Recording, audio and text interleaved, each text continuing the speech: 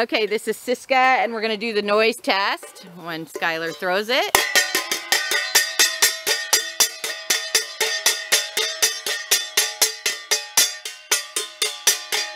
Could care less. Okay, we're good.